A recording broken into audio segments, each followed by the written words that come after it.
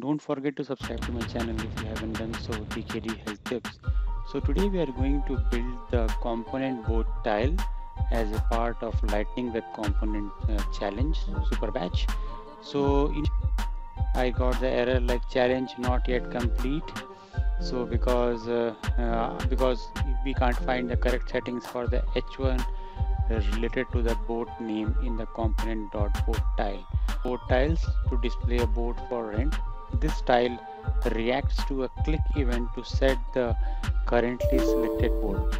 So without wasting much time, let let us type. Uh, yeah, here you go.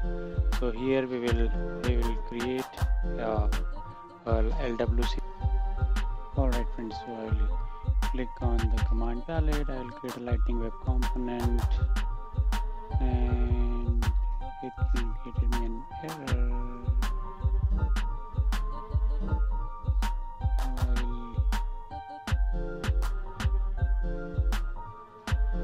Okay I have found a way like uh, fix some issue. I'll go to command palette I'll create the lightning component and then I'll create the boat tile name. I'll create I select as a default directory force app main default LWC and let it create. So I got the default lighting component uh, boat, boat tile JS file.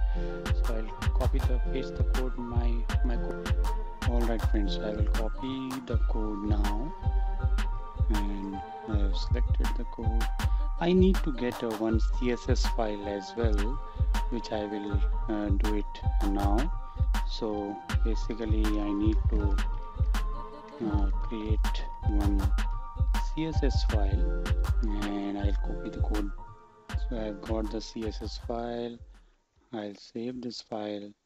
Now I will go to the HTML page. Now I got my HTML page I will save this file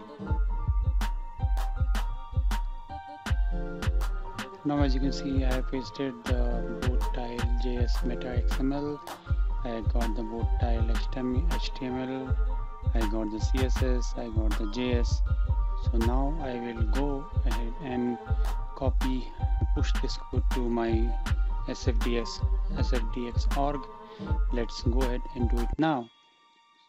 So I'm going to push the changes uh, with the with the command sfdx force source deploy source path force app main default LWC boat tile.